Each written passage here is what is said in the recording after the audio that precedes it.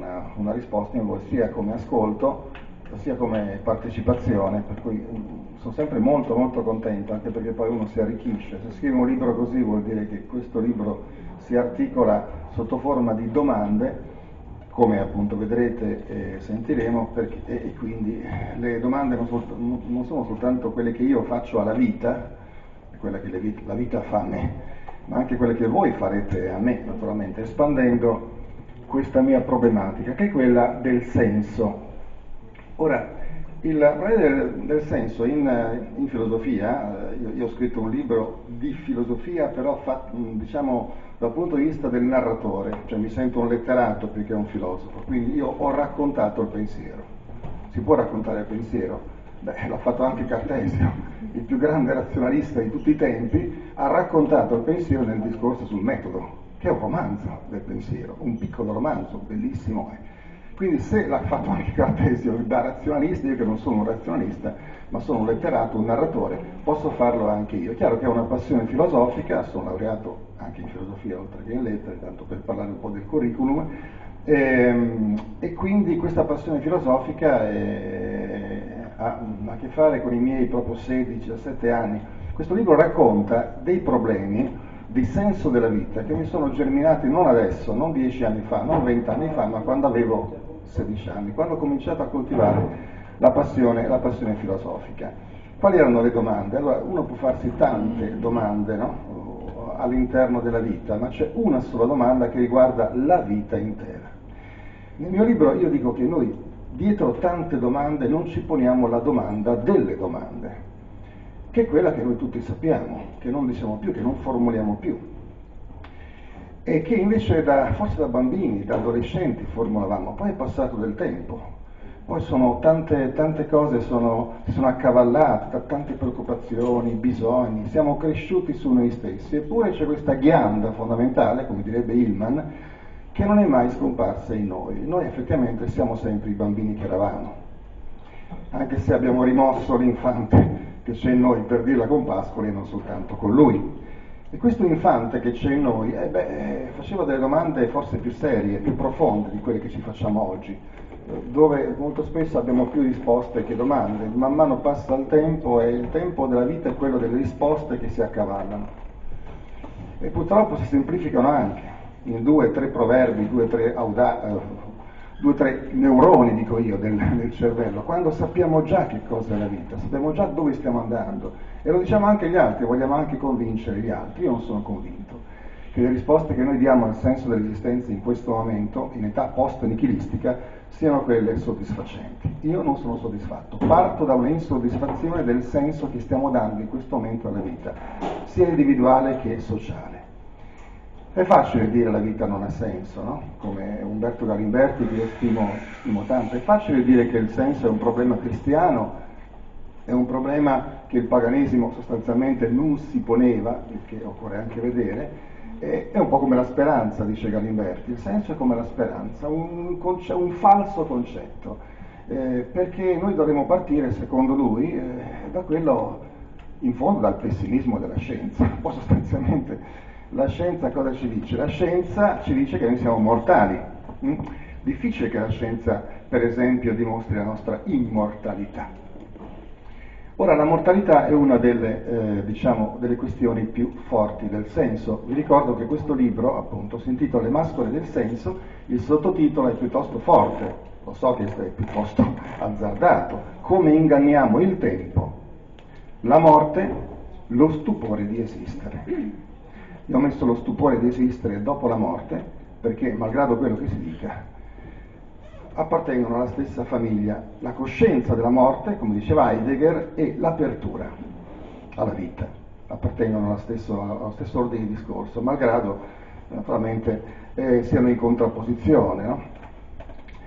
Mi ricordo, scusate, una, una, piccola battuta, quello che Claudio Villa, ricordate, il grande cantante, fece mettere sulla tomba, che mi ha impressionato quella volta, cosa aveva fatto scrivere? Vita ti amo, morte fai schifo. Sulla tomba, sulla tomba Claudio Villa. Ora, vita ti amo, morte fai schifo, ma non è altro che il messaggio che ci propinano i mass media tutto il tempo, vivere è bello, la felicità, l'amore, il senso della vita, la creazione, e poi uno ritorna dentro se stesso, spegne la televisione e cade in una depressione profonda. Se tu dici morte fai schifo, devi aggiungere quindi anche la vita. Chi dice che la morte gli fa schifo, gli fa schifo anche la vita. Chi, dice, chi appunto dice a se stesso che non vuole morire, beh, allora era meglio non essere nato, come dice, direbbe Shakespeare. Seneca lo sapeva, no? Si comincia a morire quando si nasce. È inutile cantarcela. Vuoi non morire? Non nasci. Ma eh, purtroppo non possiamo tornare indietro, cioè possiamo toglierci il battesimo, ma non possiamo toglierci la nascita. Come inganniamo il tempo, la morte e lo stupore di esistere? Allora, intanto oh, oh, noi siamo in, in età post-nichilistica, una volta ho parlato di Nietzsche, il famoso Dio è morto, che non vuol dire Dio è morto, la rappresentazione di Dio è morto, i valori sono morti, ma non vuol dire tutti i valori sono morti, i valori del, del passato sono morti, la rappresentazione dei valori è morta, il mondo non è più valutabile, secondo Nietzsche. E quindi non possiamo più naturalmente intendere rappresentarlo sulla base dei valori, almeno dei valori tradizionali. Poi Nietzsche ci mette quello della terra, quello della vita, quello della passione, quello della volontà di potenza. Partiamo da questo, partiamo dal, dal, dal presupposto che la vita non ha senso. Ora io dico che non possiamo sederci su questo nichilismo. Nessuno si può sedere e stare tranquillo sull'affermazione la mia vita non ha senso. Perché il senso ti insegue. Ma non tanto il senso, ti insegue la domanda di senso. Noi siamo nella domanda di senso senza saperlo. Parlo proprio di senso di esistenza, eh? dove stiamo andando? La famosa frase barzelletta, chi siamo, no? dove stiamo? Eh, non è una barzelletta, dove stiamo andando in questo momento? Perché in questo momento noi stiamo scorrendo, stiamo scorrendo, cioè stiamo dentro il senso di qualcosa che scorre, scorre biologicamente, scorre entropicamente, scorre fisicamente, le nostre cellule si stanno perdendo in questo stesso momento, noi siamo trainati, siamo trascinati. I latini dicevano traere vitam, Forse sapevamo già che nel traere vitam c'è non soltanto un condurre la vita, ma un trascinarla. Ma quando tu trai la vita, è la vita che trae te. Per cui se noi siamo tratti dalla vita, se in questo stesso momento siamo dentro una corrente che ci trascina, nostro malgrado, noi siamo già dentro un senso. E se non diamo senso alla vita, non possiamo dire la vita non ha senso. No, la vita non ha il senso che noi le diamo, ma siamo già dentro un senso. Noi siamo già dentro la corrente. Noi siamo dentro il tempo, per chi ci creda o non ci creda. Può non esistere il tempo, come dicono tanti filosofi, ma esiste lo sviluppo. Esiste lo sviluppo dell'infanzia. Può non esistere il tempo, ma esiste la corsa verso la fine. Questo scivolo che noi ogni tanto appunto avvertiamo, ma che mh, mm, mm, la gran parte del tempo rimuoviamo. Pensate a uno scivolo, no? È chiaro, dalla nascita si comincia a scivolare a un certo punto noi cosa facciamo? Siamo come un bambino che scivola e dice alla mamma, mamma non sto scivolando, sono fermo. E se ne fa una ragione ancora prima di cadere con il sedere giù. Ecco, noi siamo dentro appunto uno scivolo e ci facciamo delle ragioni per uh, pensare di essere fuori dal tempo. La gran parte della prassi, la gran parte della, mh, diciamo, delle nostre attività eh, dei nostri pensieri molto spesso non sono pensieri di tempo, perché non riusciamo a reggerlo noi il tempo, noi non riusciamo a reggere la sensazione che in questo momento stiamo morendo. Io parlo di avvio verso la morte, avvio verso naturalmente la fine. Non, stiamo, mm, non siamo capaci di reggere il fatto che siamo comunque dentro una corrente, una corrente.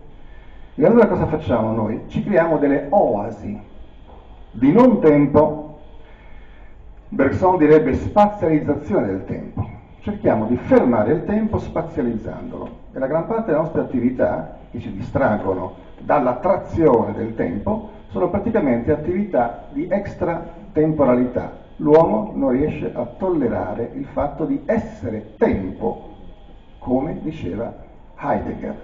Nietzsche avrebbe detto l'uomo non riesce a tollerare il fatto di essere divenire, noi siamo divenire. Solo che non siamo un divenire eterno, anche se per qualcuno, per Nietzsche, anche per Severino facciamo parte del divenire eterno. Abbiamo una coscienza per cui il divenire è un divenire qualcosa. Purtroppo, come direbbe Platone, contestato da Heidegger e Severino, soprattutto, divenire nulla. Noi appena nasciamo cominciamo a divenire nulla. Questo ci crediamo o non ci crediamo? Ok, poi occorre vedere se, se il pensiero laico prevale su quello religioso, su quello della fede, io sulla fede ho scritto tante cose, perché è un modo per rispondere al senso di esistenza, io rispetto, come rispetto mia sorella che è cattolica e che sta leggendo questo libro, ogni tanto gli si accappona la pelle su alcuni brani, così rispetto tutti coloro che credono, ma non soltanto coloro che credono in Dio, ma anche coloro che credono agli dei, coloro che credono uh, ai santi, coloro che credono a un guru, io rispetto questa gente qua, io rispetto questa gente che crede, che ha un punto di riferimento, che dà un senso alla vita credendo in qualcosa, però francamente provo a smascherare l'ipocrisia che c'è dietro. In che cosa stai credendo? E perché hai bisogno di credere? C'era James, il filosofo americano, che ha scritto un libro, Volontà di credere. Sostanzialmente noi quando crediamo o crediamo passivamente, cioè crediamo in qualcosa che ci ha convinto, o vogliamo credere in qualcosa, soprattutto in qualcosa che magari non ci ha convinto ma di cui vorremmo convincerci. Ora, dietro il credere, soprattutto in questo secondo significato, c'è l'ipocrisia di chi se ne vuole fare una ragione. Ora, farsi una ragione del tempo, farsi una ragione della morte, beh, vuol dire forse eh, ingannare tempo e morte. C'era un grande scrittore brasiliano, Machado de Assis, che già nell'Ottocento aveva scritto una frase che mi ha sempre colpito, la cito molto spesso, mentre noi ammazziamo il tempo, il tempo ci seppellisce. Quindi noi crediamo di ammazzare il nostro becchino. Chiaro? Ora, se come diceva Hegel, eh, come dire, la verità è, è, è il risultato, Kojève, grande filosofo francese che ha interpretato Hegel, come l'ha interpretato in qualche modo? Io lo conosco poco, ma so l'essenziale di quello che dice, che io porto nel mio, nel mio discorso è questo. Se Hegel dice che la verità è alla fine, che la verità è il risultato, che il vero è ciò che è fatto, e allora la verità della vita qual è? Non devo dirlo io, se praticamente la verità è il risultato, il risultato della vita è quello che tu hai costruito con la tua vita, ma di te che vivi il risultato è la fine della vita. Quindi noi, ecco, da questo punto di vista siamo più nichilisti dei nichilisti e, ce lo teniamo dentro perché sentiamo che il risultato della vita, se il risultato della vita è la cosa più importante della vita, è la morte.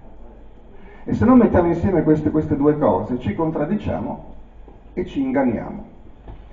Per cui eh, le maschere del senso, e poi leggiamo un brano, o magari quello, quello sul, sul, farsene una ragione, ho portato la mia lettrice che è Simona Albano che legge eh, molto molto bene, ecco, um, praticamente farsene una ragione vuol dire che tu sostanzialmente stai scivolando, ecco ricordate la corrente sta scivolando, ma te ne fai una ragione. Cioè giustifichi il dato di fatto pensando che te lo sei scelto tu. Ma quante cose della nostra vita noi non abbiamo scelte e le eh, santifichiamo, le battezziamo come se fossero scelte da noi. La nostra vita è stata scelta, la vostra vita ve la siete scelta finora? Uno potrebbe dire sì, o con Neruda confesso che ho vissuto, basta che ho vissuto.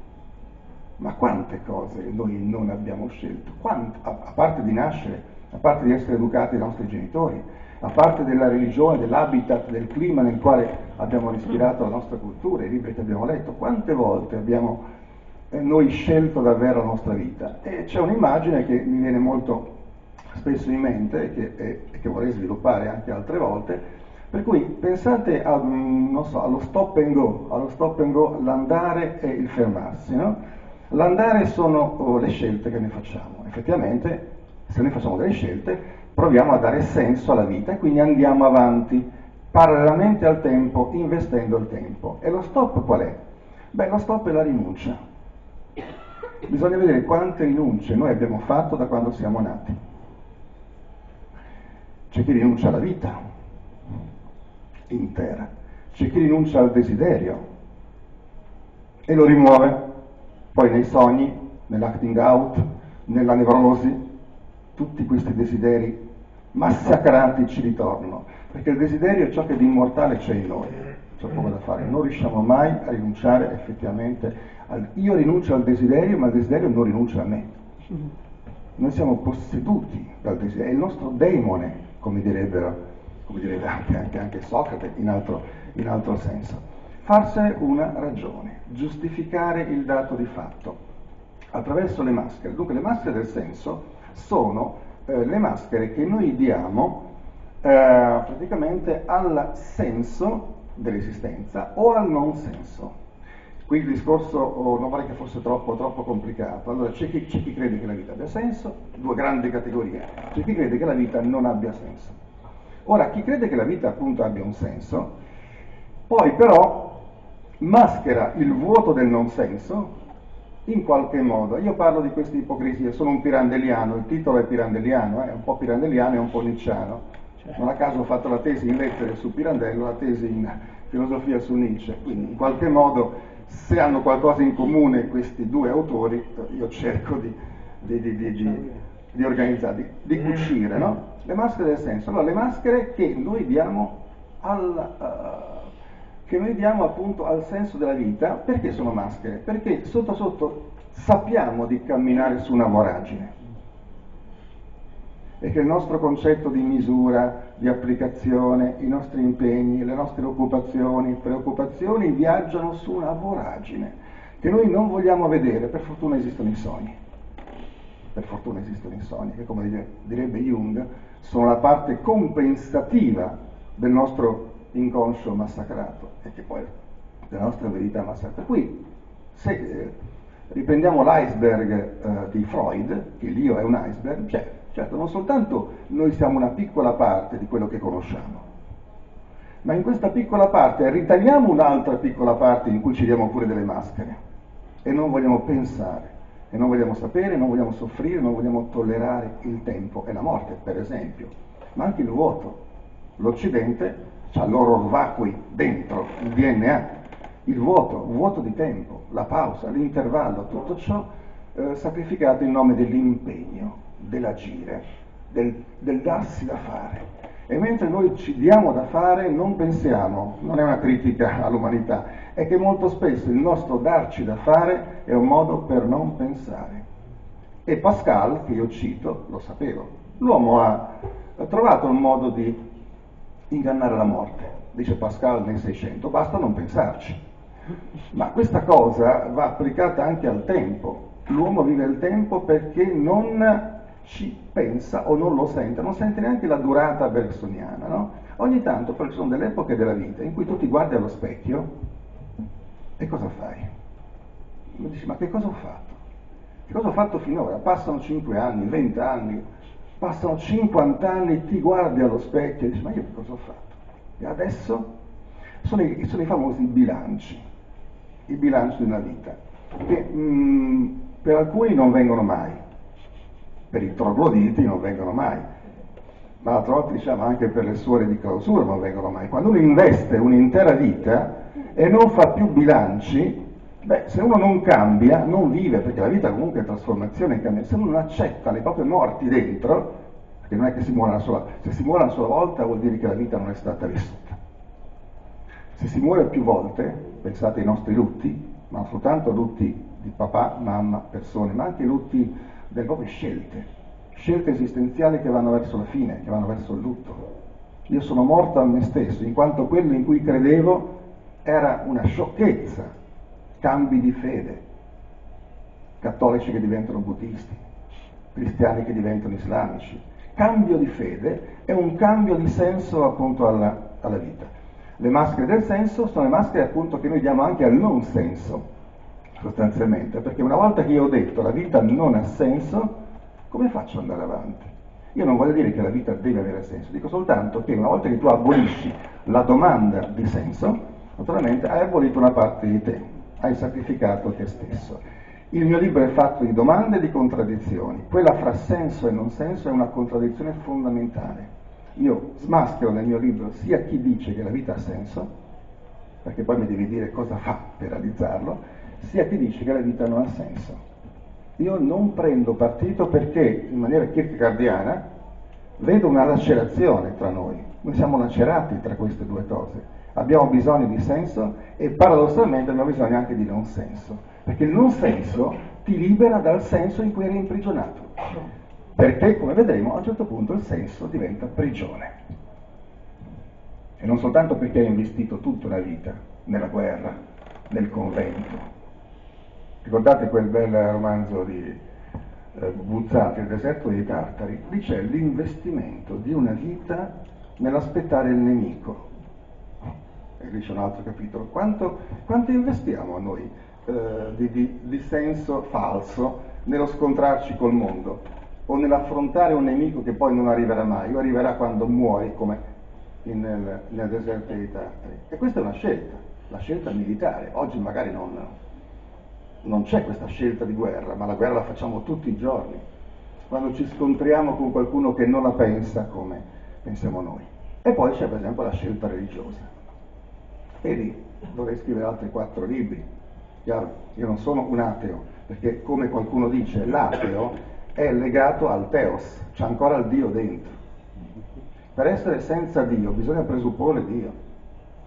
L'ateo è più, uh, come dire, vicino al Dio di chi non è né ateo né, eh, diciamo, teologico religioso. Cioè è chiaro che se tu co- continui a pronunciare la parola Dio come quando bestemmi, esempio mio padre che era cattolico bestemmiava. Allora se tu, ecco, e mia madre andrà all'inferno, ma allora se mio padre, come tutti i bestemmiatori, bestemmiano, voleva dire che c'era dentro di lui il presupposto di un Dio che l'avrebbe punito, quindi anche una volontà di punizione. Ecco perché dà molto fastidio chi bestemmia. Perché dice, ma allora tu credi in Dio? Allora se credi in Dio perché bestemmi? Non credi in Dio. Se non credi in Dio perché bestemmi?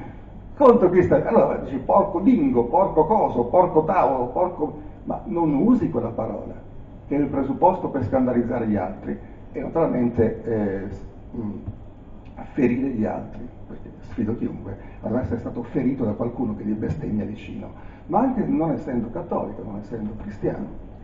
Ma comunque, eh, allora adesso leggiamo questo brano sulle, sulla, uh, diciamo, il farsene una uh, ragione, cioè la giustificazione a posteriori di scelte a volte coatte o di scelte che noi abbiamo fatto per ragioni di convenienza e che dobbiamo giustificare al mondo agli altri. Guarda, io ho fatto questo, ho sposato questo, ho realizzato questo, ho scelto questo lavoro perché? E tu devi convincere gli altri. Ma perché? Perché non hai ancora convinto te stesso. Dal capitolo decimo, dalla fiducia cosmica incondizionata al farsene una ragione. Appunto, farsene una ragione. Petere e querere, chiedere per ottenere e chiedere per sapere. L'interrogazione parte da qui, dall'infanzia. Interrogazione per avere qualcosa che manca, interrogazione per sapere qualcosa che non si sa e dunque manca al sapere. La prima interrogata è la madre. Può mancare il seno, perché manca il seno? Perché può mancare il seno? Può mancare qualcosa al sapere, al senso. Perché manca il senso? Dov'è il senso? Mamma, dove andremo a finire? Tu, io, tutti? Possono mancare il seno e il senso. Il seno per nutrire e il senso per crescere in una direzione. Ma anche il senso potrebbe nutrire. L'uomo ha bisogno non solo della sopravvivenza attraverso il seno, ma anche della crescita attraverso il senso. Sopravvivere e vivere. E il senso diventa seno, esso stesso seno che manca. Si interroga il seno, poi si interroga il senso, come ci si nutre di seno e poi non basta sopravvivere, si guarda al senso, al dove si va. La rimozione più clamorosa è questa e avviene durante l'infanzia, rimozione dell'interrogazione del senso. Continuiamo a usare il termine rimozione in una accezione filo-psicoanalitica.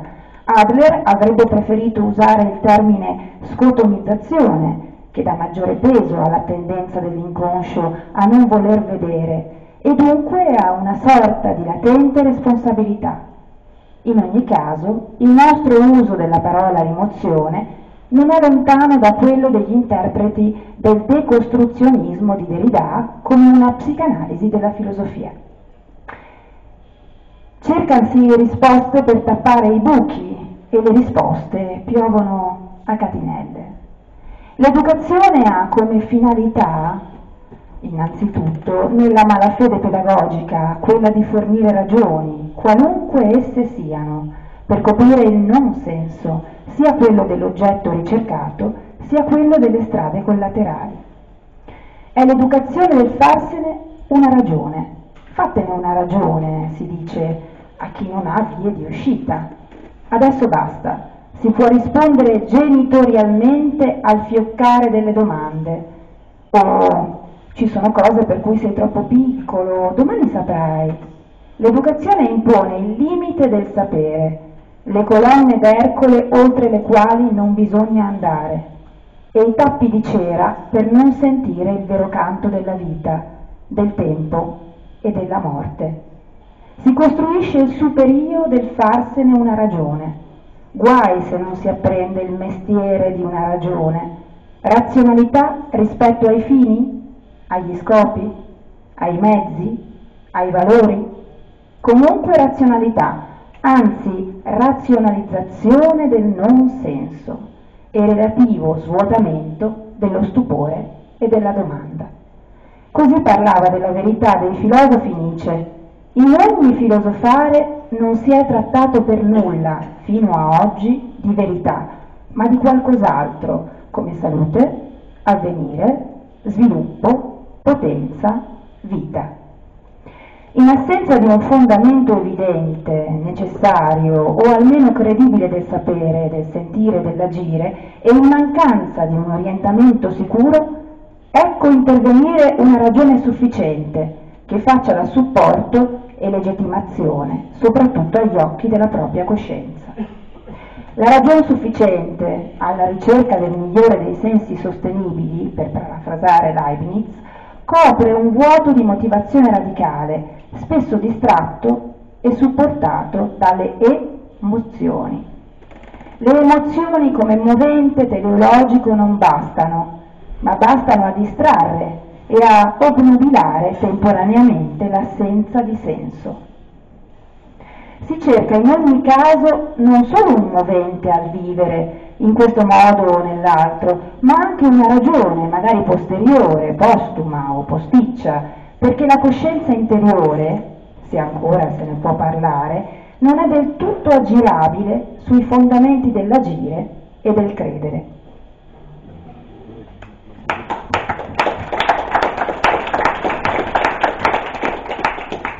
Il eh, grande filosofo Vitiello, eh, leggendo questo libro, è partito dal, dal, titolo e mi ha detto, lui che è un heideggeriano doc, è un professore che sta a Napoli, che ho anche presentato al mio salotto letterario tra l'altro. Questo, ricordiamo l'appuntamento. Ricordiamo l'appuntamento di martedì al salotto. Non, non, voglio fare pubblicità dei miei salotti, comunque chi vuole venire cioè, può entrare nella, nella mailing list, basta che mi dia sua, il suo indirizzo. Io faccio, per chi non mi conosca, dei salotti letterari e filosofici, parte come salotto letterario ogni due martedì. E ho avuto appunto, diciamo, ci sono anche degli, degli ospiti qui presenti che sanno cos'è, ho avuto Carlo Sini, ho avuto insomma, Fusaro che è venuto anche qua, dico Fusaro, adesso vorrei avere Severino, ma anche Severino ha il mio libro in mano, ma è, purtroppo è un pochino anziano, per cui gli dovrà anche dare il tempo di leggere, figuriamoci, invitarlo appunto al salotto. No, stavo dicendo, Vitiello, quando ha letto questo titolo, oh, Le maschere del senso, come inganniamo il tempo, la morte e eh, lo, stupore, lo, stupore, di esistere. Mi ha detto una cosa molto interessante, ma io me l'aspettavo da un heideggeriano doc. Mi ha detto, caro Caracci, ma mm, tu, tu, tu, sei sicuro che eh, siamo noi a dare le maschere al senso? Non è il senso che dà le maschere a noi? Mm, pensiamoci, riflettiamo, meditiamo gente. cosa vuol dire che il senso dà le maschere a noi? Beh, io un giorno parlerò con Vitiello, se tu rovesci la cosa, naturalmente vuol dire che nel senso già credi, che già lo, lo ipostatizzi. Se il senso diventa il soggetto del darci delle maschere, vuol dire che il senso è già presupposto al soggetto e a me non piace. A me non piace quando un senso è presupposto al soggetto, così in maniera amblè, come, come, non mi piace quando il soggetto è presupposto al senso. Voi dite, allora ci stai un po' scherzando, cioè, ci stai evitando, ma sì, appunto perché queste due soluzioni sono contraddittorie, cioè se io do senso, appunto pensate alla frase eh, così apparentemente innocente, dare un senso alla vita. Bello, ma bello cosa? Se tu dai un senso alla vita, qual è il presupposto di questa frase? Che la vita non ha senso, come se la vita aspettasse noi per avere un senso.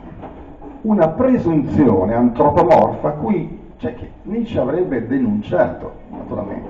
Cioè, io do senso alla vita. Potrei dire do senso alla mia vita. Ah, ma la, la vita è tua? Beh sì, è mia.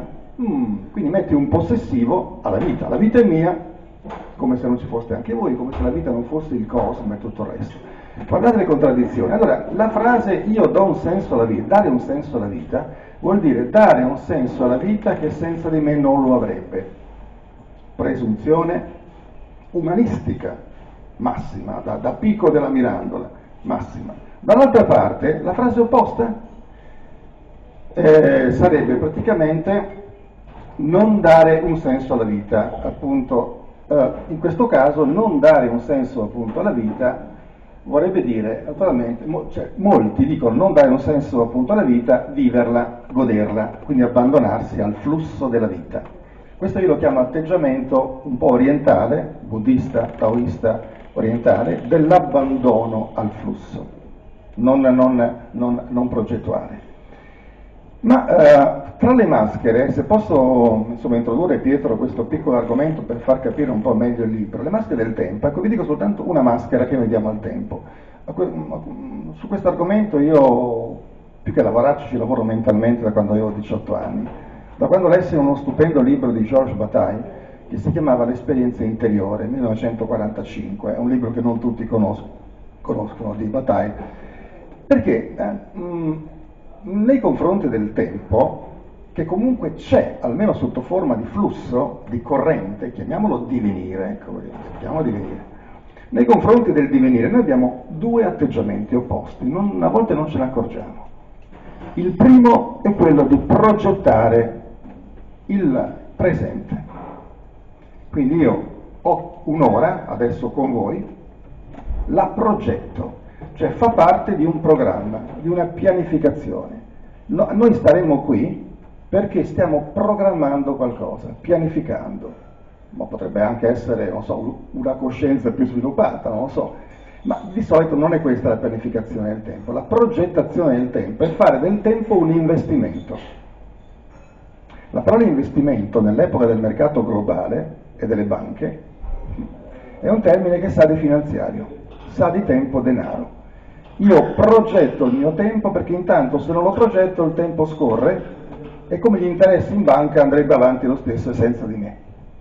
La pianificazione del tempo, la progettazione del tempo eh, fa parte di quella modalità eh, di investimento del tempo che io chiamo progetto, seguendo un suggerimento di battaglia.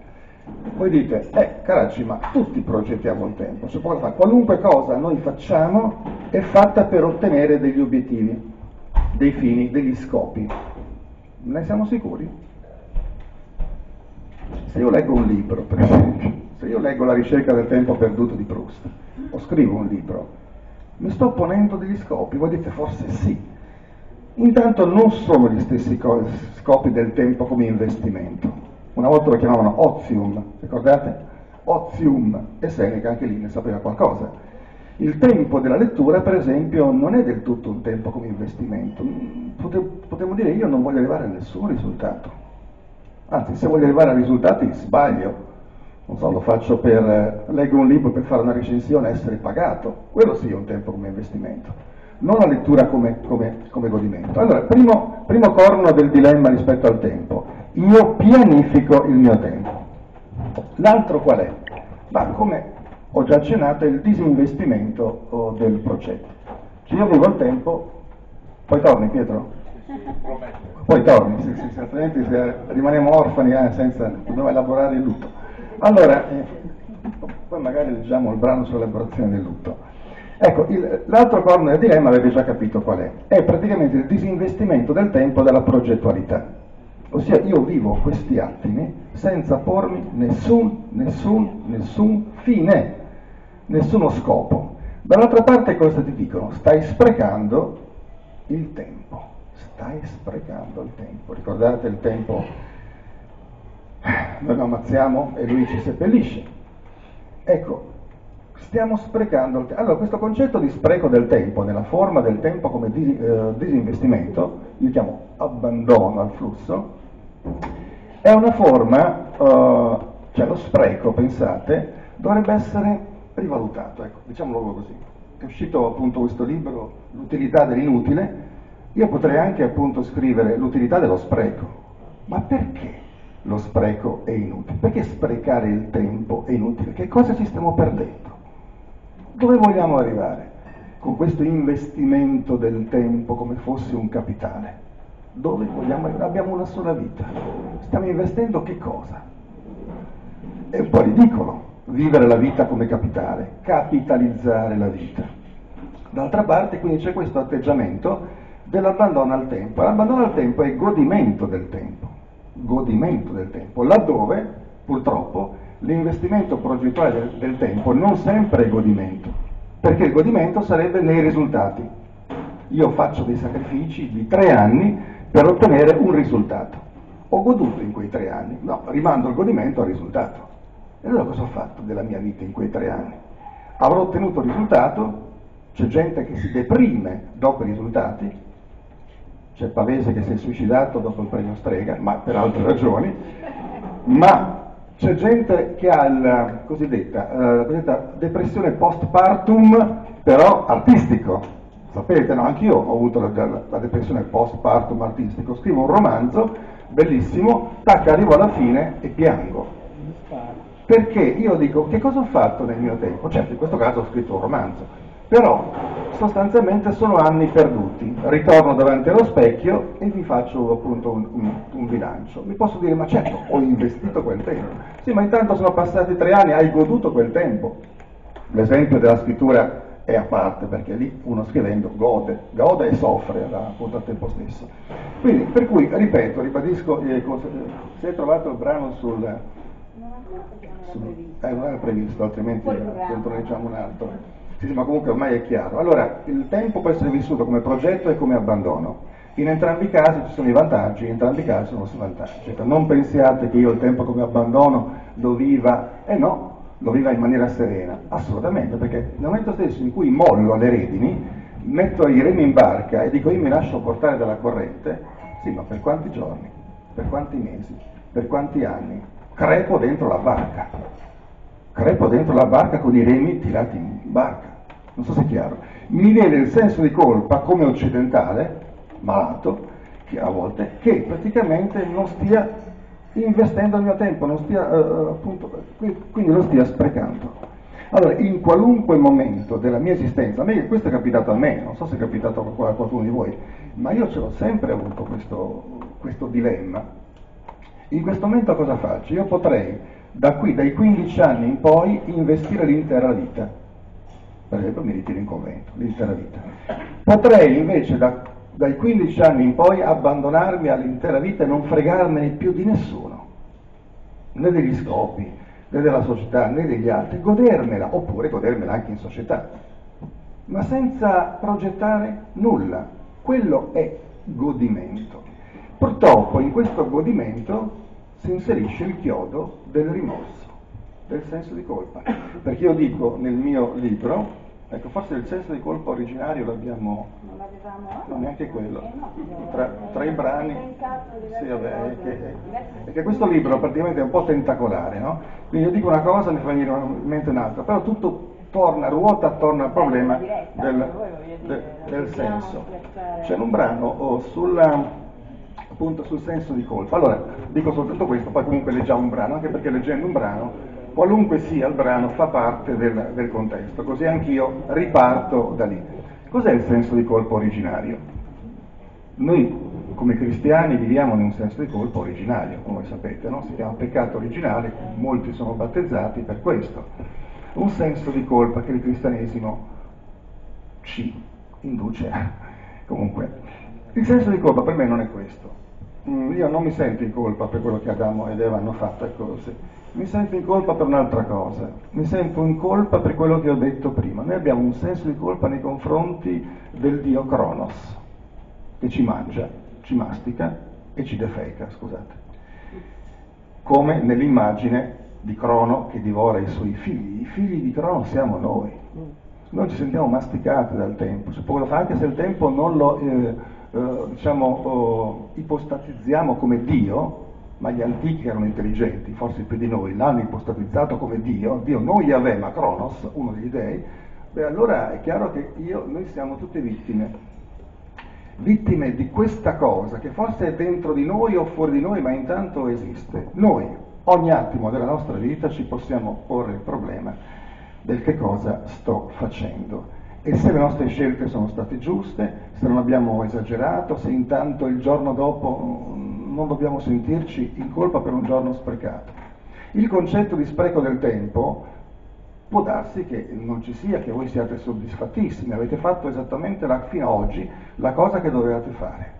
Io non sono convinto, ma butto lì, eh, io non ho fatto le cose che dovevo fare. Cioè sostanzialmente se vado indietro, ecco, oh, sento che tante possibilità sono state perdute, tran, tanti treni sono stati perduti, tante opere non sono state scritte per vari motivi, avrei potuto fare un altro lavoro, le possibilità del passato ti eh, dischiudono il senso di colpa per quello che sei. Sarò forse magari eh, diciamo, esigente io nei confronti di me stesso, ma ciascuno ha le proprie esigenze nei confronti di se stesso. Queste esigenze che vengono mascherate molto spesso agli altri, perché la maschera, come già sapeva Pirandello, è molto spesso sociale, ma la peggiore maschera è quella che uno indossa nei confronti di se stesso. Leggiamo. Sì. Dal capitolo quarto, il tarlo che ci rode, la colpa originaria, il doppio senso di colpa.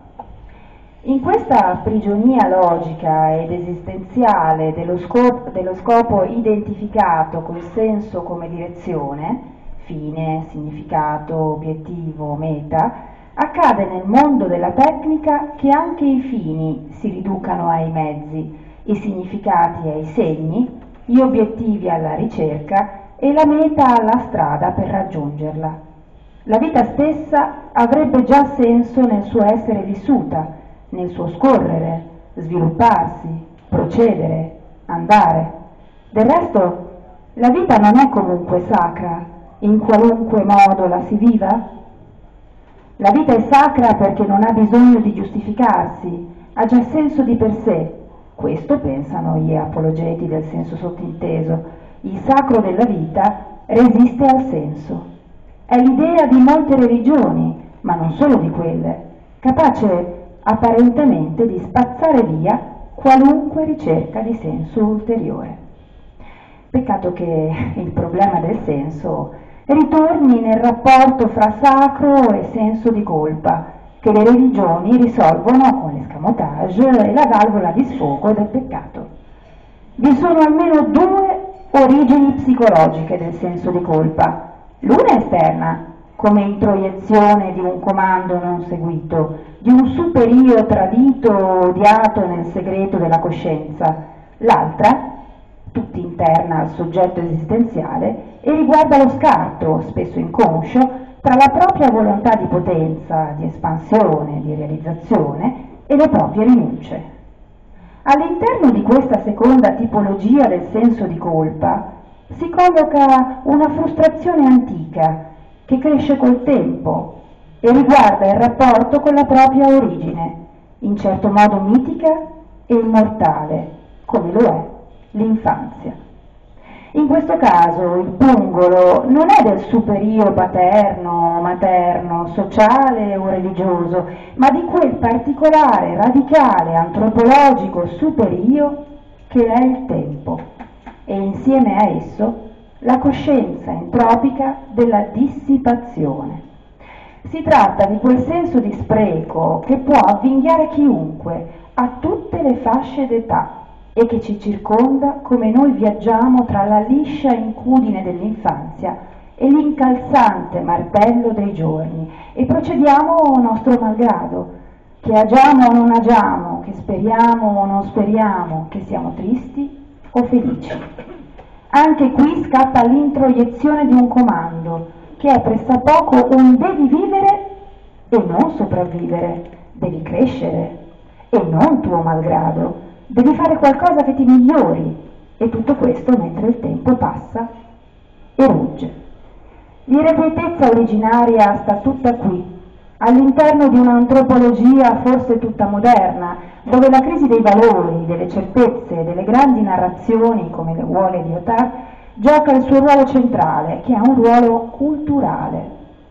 Lo si può definire un senso di colpa nei confronti di se stessi, come dei propri desideri e delle proprie ambizioni, accompagnato da un insopprimibile filo di vergogna, esso stesso subliminale, per le rinunce che hanno frenato, dirottato o avvilito il nostro viaggio.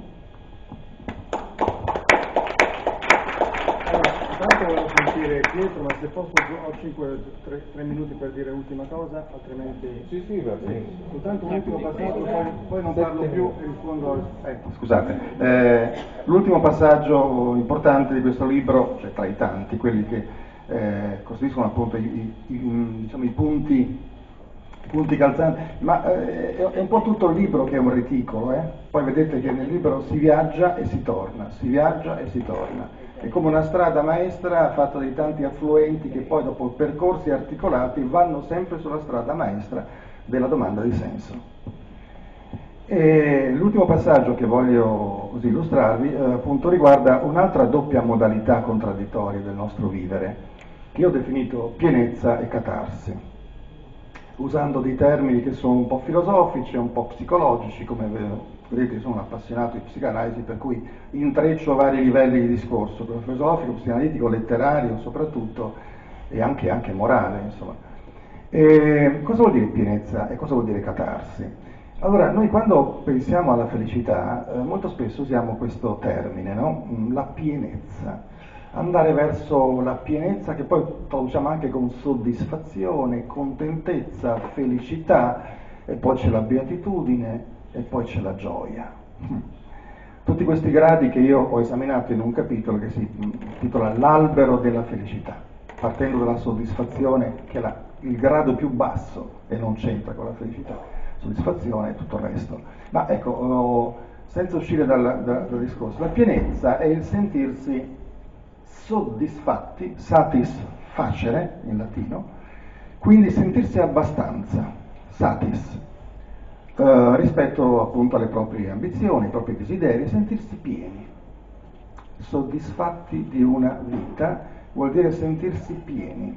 Questa pienezza noi la inseguiamo in qualsiasi cosa eh, che noi appunto facciamo, molto spesso eh, identifichiamo il risultato di un qualcosa che ci è riuscito bene con un senso di pienezza. E la stessa felicità molto spesso è una felicità eh, di, eh, in cui sembra che l'animo si colmi di qualcosa.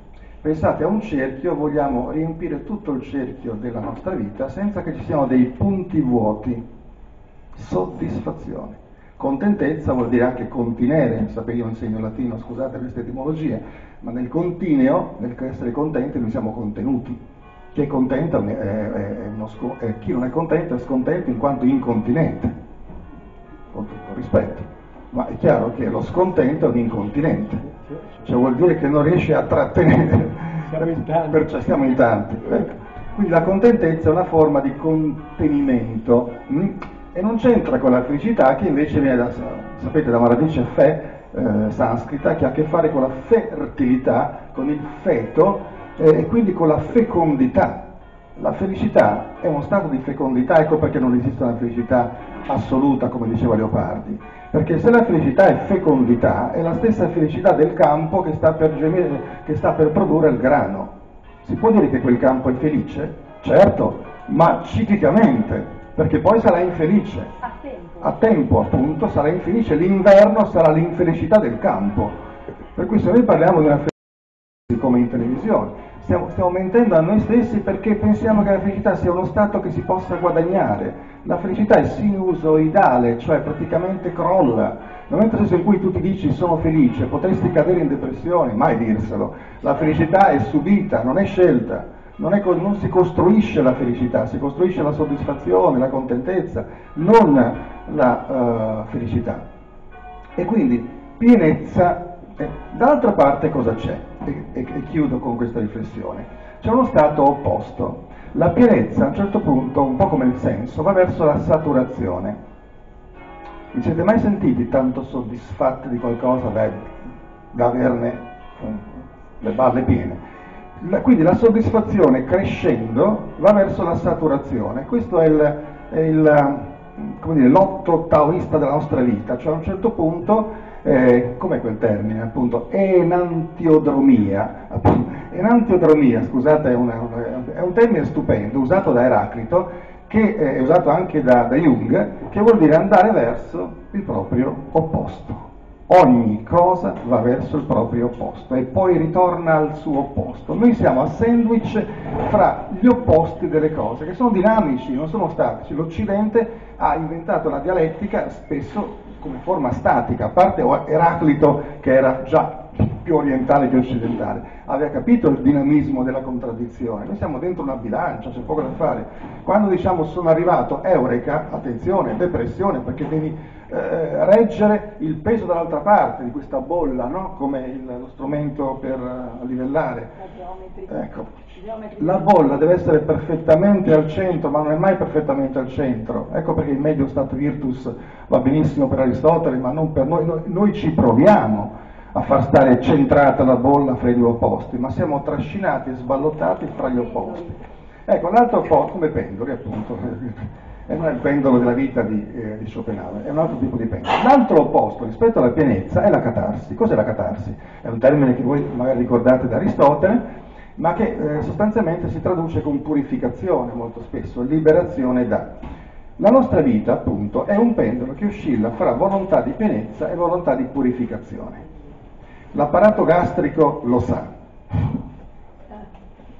per dirla in forma biologica. Pienezza, e anche, e anche naturalmente le fasi eh, psicanalitiche eh, dell'oralità, analità e, e falicità. In questo caso l'oralità rientra nella voglia di pienezza, fagocitare, il temperamento orale, come dicono alcuni, è il temperamento che vuole fagocitare fino alla, alla patologia di Hannibal, eh, ecco, del, del, del, appunto, del cannibalismo. Esistono dei cannibali tra noi eh, che sono uh, mascherati, che vogliono fagocitare tutto e quindi eh, prendere tutto il mondo.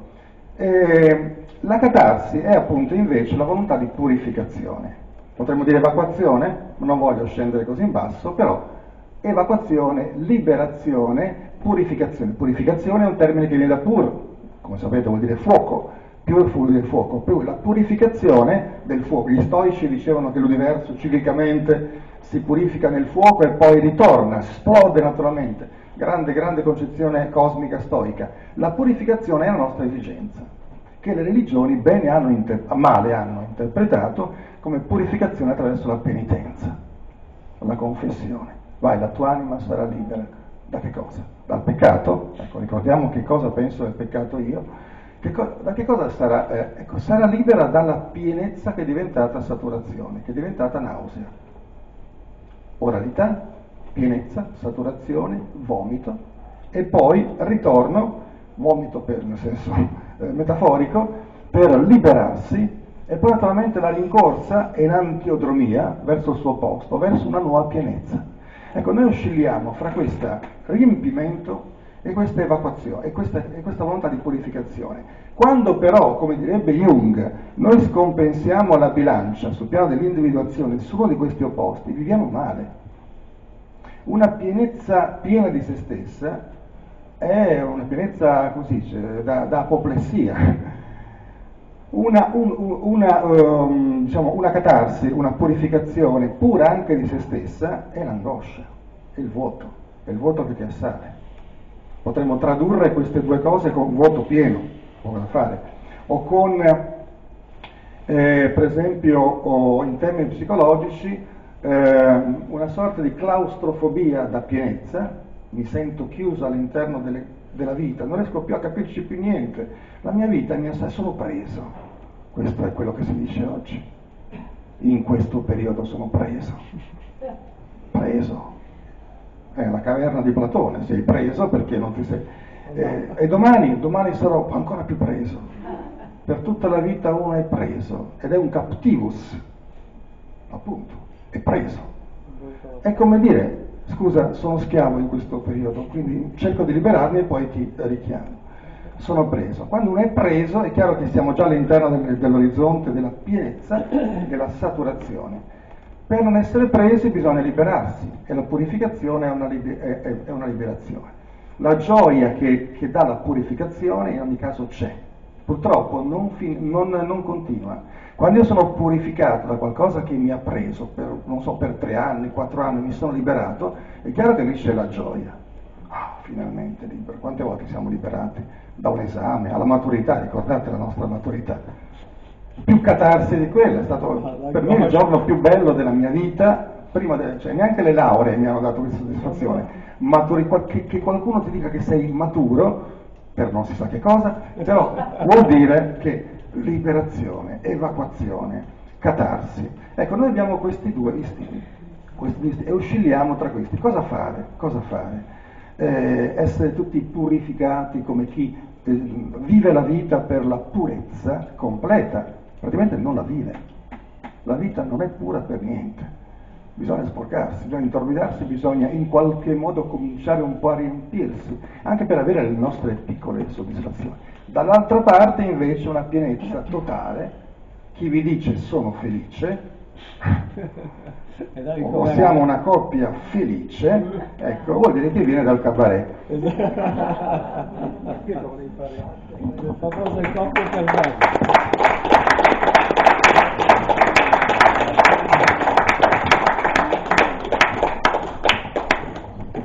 Vuoi venire tu Franco? Vieni, vieni.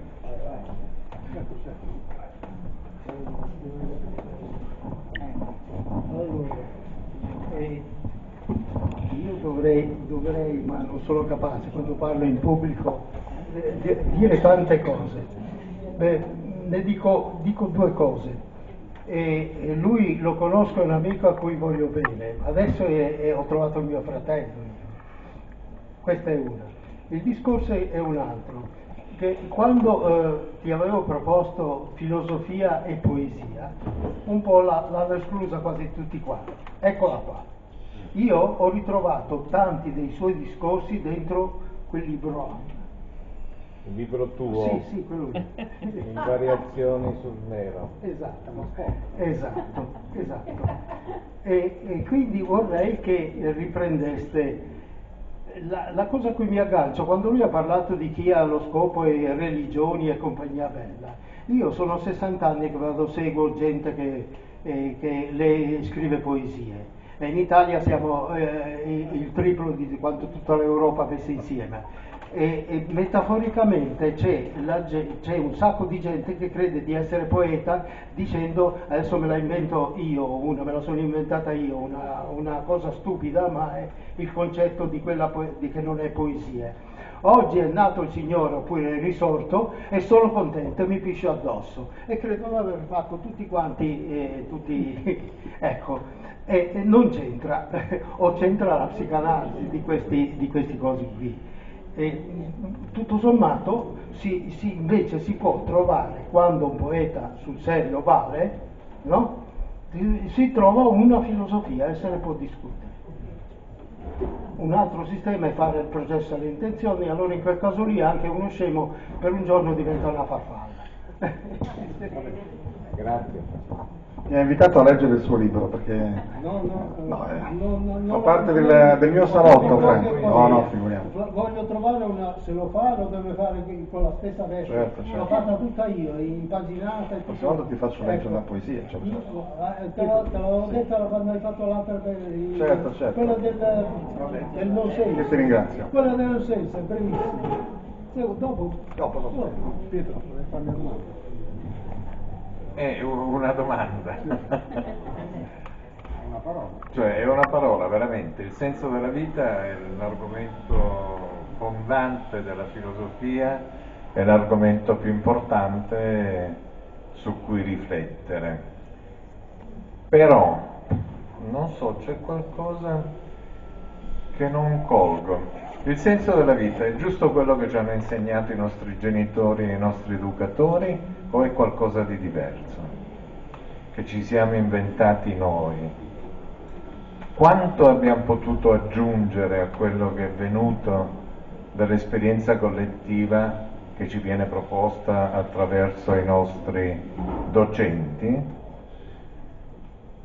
Me ne invento io?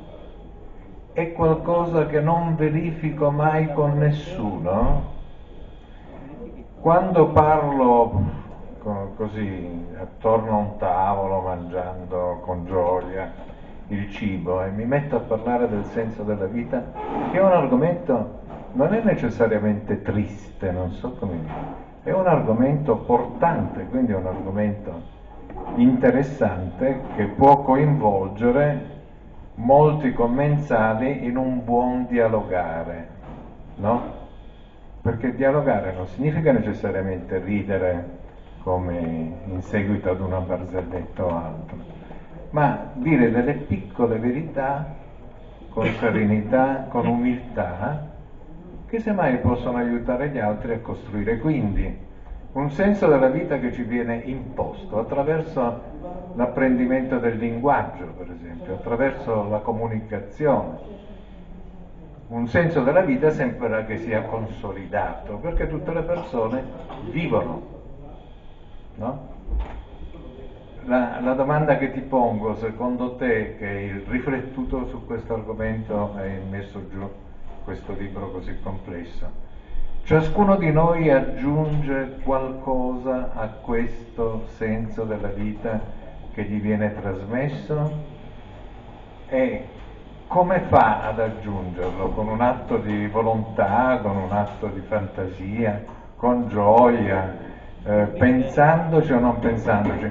Io ultimamente sono stato veramente, come dire, eh, toccato perché mi hanno portato a partecipare a una serie di conferenze che dovevano preparare il pubblico alla vendita di prodotti americani, promettendo attraverso un'attività di networking ricchezze future, quindi un investimento. No, no, non c'è nulla da ridere, è vero, ci sono dei personaggi consacrati storicamente che io conosco che hanno realizzato questo obiettivo attraverso questo metodo. Ma qui mi hanno chiesto, mi hanno fatto una domanda che per me è stata un po' destabilizzante, perché è vero quello che dici tu, ogni tanto mi giro indietro, mi chiedo che cosa ho fatto fino adesso e semmai sento un senso di vuoto, eh, sento un senso di colpa per non aver interamente utilizzato le mie energie. Ma provate a farvi una domanda per il vostro futuro. Chiedetevi, me l'hanno chiesto, e io sono stato destabilizzato. Come pensi che sarai fra dieci anni? Allora ho cominciato a pensare, la mia attività, sarò ancora avvocato, avrò smesso, avrò una fonte di reddito eh, come quella che ho avuto fino ad ora con attività professionali o non ce l'avrò più? Avrò bisogno di integrare quello che io a con, portavo a casa con la mia attività e adesso casomai con la pensione. Cosa devo fare? Qual è il progetto? Ecco, eh, qui eh, trovo, no? La felicità, eh, una, una semplice affermazione che ho sentito fare da persone intelligenti attorno a me che ho cercato di sposare, consiste nel fatto di avere in ogni momento della nostra vita un progetto. Se vogliamo banalizzare, il progetto è qualcosa di grandioso che semmai comporta l'utilizzo di tutte le nostre forze, no? Superare noi stessi per realizzare il progetto, cioè diventa qualcosa che contribuisce anche no? allo sviluppo di tutta quanta la società, il nostro progetto, se è un progetto minimamente positivo. Ecco, ma credo che il senso della vita sia, a parte il progetto, la progettualità, il chiedersi, la faccenda. Siamo quotidianamente affaccendati. Per fortuna, questo è quello che ci distrae completamente dal, ma non fermarsi a riflettere, ma la faccenda ha tutta una serie di implicazioni che non so se eh, tu puoi spiegarci alla luce di que- tutto quello che hai scritto. Grazie. Sì, c'è un applauso, c'è, una, è un'obiezione abbastanza, cioè che io ho tenuto in, in, considerazione, perché ricordate la contraddizione progetto e abbandono, tamborino è tutto dalla parte della, proprio occidentale in questo, comunque è tutto dalla parte della, della, della progettualità. Allora, prima risposta brevissima, allora è chiaro che noi eh, ci leghiamo a un senso di tradizione, cioè a un senso che già c'è, prima che non nascessero, perché comunque il senso, intanto i, i genitori hanno fatto un progetto, se non si è uh, rotto qualcosa, scusate, hanno fatto prova di farci nascere, se l'hanno voluto. Quindi noi siamo all'interno di un progetto. E se il bambino dice alla mamma, mamma che senso ha eh, l'essermi, eh, eh, appunto, l'avermi messo al mondo? Per amarti, la mamma la mette sul, sul piano dell'amore, eh, il bambino per ora si tranquillizza, per ora eh, ma noi, è chiaro che veniamo da un senso, appunto alla faccia di quelli che dicono che comunque veniamo dal non senso, ma effettivamente nel piccolo, nel piccolo, il senso è quello di essere amati, essere stati amati già prima di nascere, come dicono i genitori, e poi durante. Noi veniamo da una tradizione, questa è un'obiezione abbastanza ovvia per me, perché è chiaro che eh, se si parla di senso, eh, la tradizione ha senso. Cioè non è che noi siamo nati dal nulla, siamo noi che ci inventiamo a un certo punto la domanda di senso. Evidentemente anche nella domanda di senso siamo figli di. Quindi noi veniamo da una tradizione, mm, come direbbe Gadamer, per cui la cultura è trasmissione del sapere. Allora Tamborino dice, ma allora anche il senso è trasmissione del senso. Due cose. Primo, eh, è ovvio che praticamente eh, noi come figli dobbiamo non arrestarci al senso che i genitori hanno dato la loro vita, ma andare avanti, altrimenti non sarebbe neanche storia e noi saremmo vissuti inutilmente.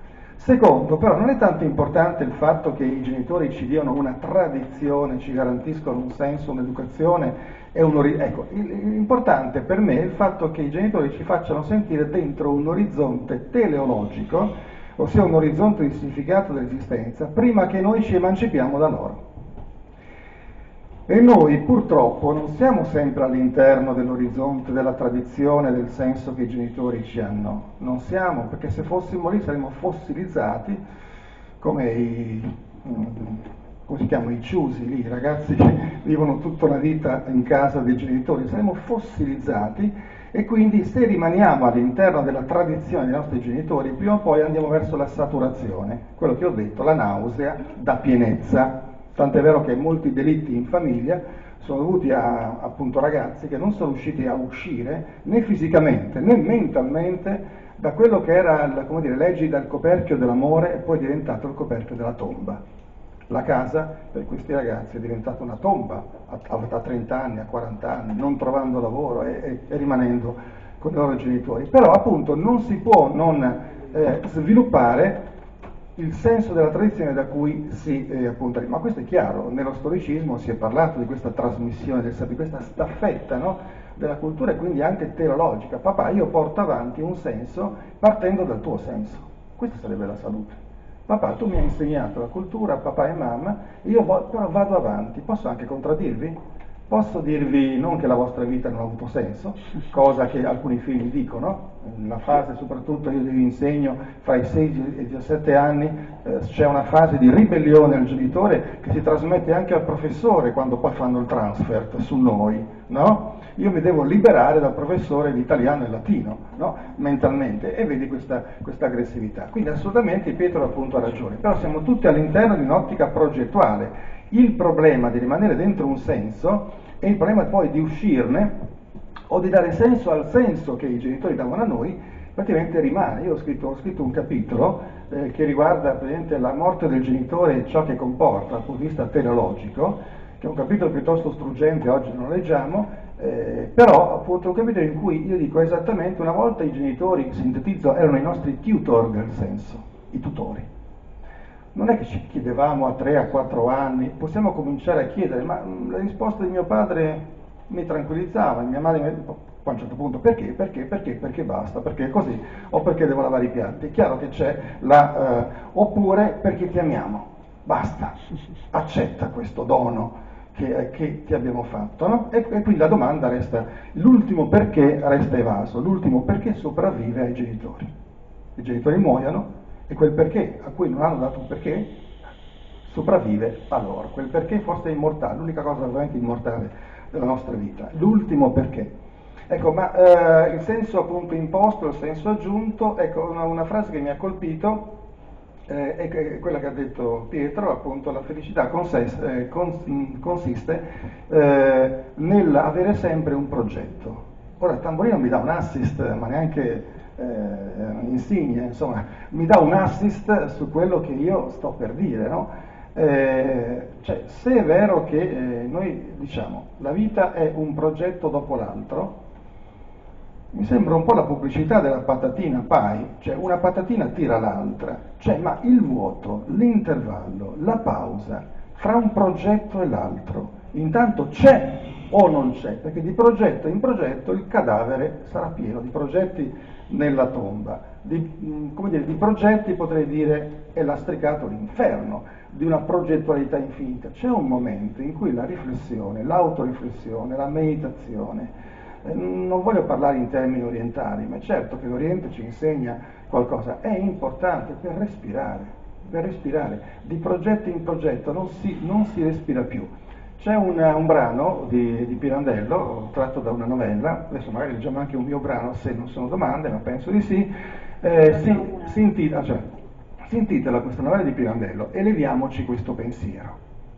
Cioè parla di un, mm, di un personaggio che deve porsi delle preoccupazioni per vivere, perché altrimenti l'angoscia lo fa annegare e di preoccupazione in preoccupazione la cosa si ritorce contro di lui, è la realtà che lo riempie di bisogni, di pensieri.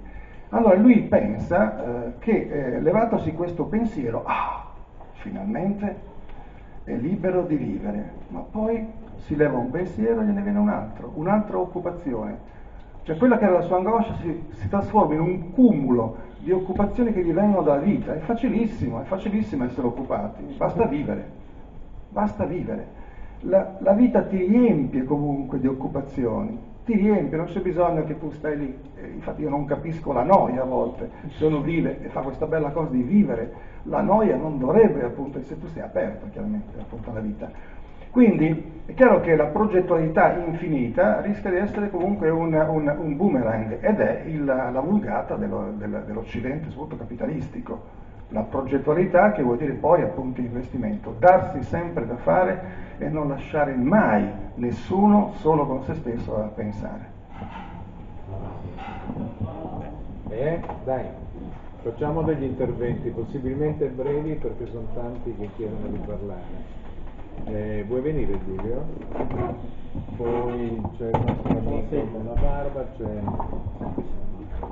un aspetto che ho percepito dalla domanda, ecco, ma eh, mi chiedo, la, eh, il senso della nostra vita non dipende anche dagli altri, fino a che punto? Cioè nel senso, nel senso che mi pare in tutto il discorso manca un'intersoggettività, insomma, tenendo conto delle neuroscienze, mente estesa, eccetera. E poi, poi parlare di maschera, la maschera, nulla. Sebastiano? Questa è una domanda pirandriana, rispondo subito, appunto, è chiaro che il senso della vita è... Ma se il senso della mia vita dipende solo dagli altri, comincio a preoccuparmi. Io chi sono? È chiaro che eh, non voglio, cioè l'intersoggettività viene un pochino dopo, scriverò un altro libro, no?